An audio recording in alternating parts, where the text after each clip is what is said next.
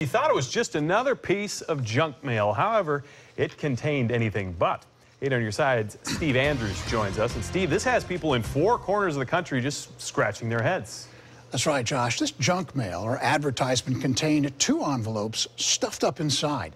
They happen to be payments to finance and mortgage companies made by people who, until yesterday, had no idea their checks were sitting in a pile of junk mail. Debbie Griner's trip to her mailbox earlier this week seemed no different than others until she got home. That's when she picked up this advertisement from Anthem Blue Cross. You know, I went like this and I saw that something was coming out, so I pulled them out. Them is two envelopes, and you're going to sort of need a map to follow all this. One envelope was mailed from Fairfax, Iowa, sent to a mortgage company in City of Industry, California. The other envelope was mailed from Hillsborough, New Hampshire to a finance company in Des Moines, Iowa. Both of these letters ended up in a piece of junk mail sent from Woodland Hills, California, and it all ended up in Debbie Griner's mailbox in St. Petersburg. And how the heck it got to St. Pete, Florida, I have no clue.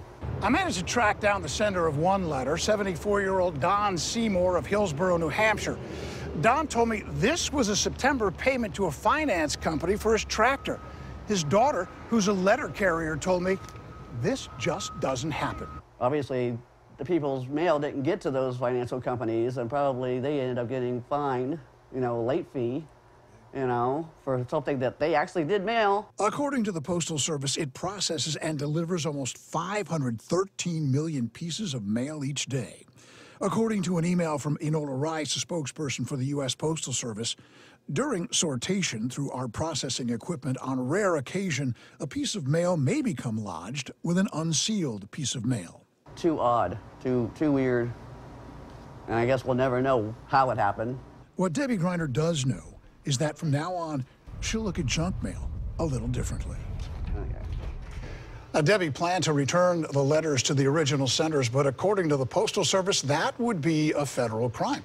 Proper procedure is to bring that uh, mail to a post office or hand it over to your letter Carrie. And as uh, Jen had said just a, a, second or two earlier, it's just a good thing she was honest about this. Well, I'm thinking she's doing the right thing, but yeah. you could get in trouble if you thought Absolutely, of that. Well, how yeah. about poor Mr. Seymour here? He's trying to pay off his tractor. Did the finance company ever get a hold of him? No, he hasn't heard from the finance company. I don't know if that's good or bad, but I got to tell you, being from New England, it was such a joy talking with this gentleman last night about his farm up in there in New Hampshire. I just, it made me homesick. He's probably happy that you called him to let him know his payment wasn't on the way. All right, Steve Andrews, thank you so much. Sure.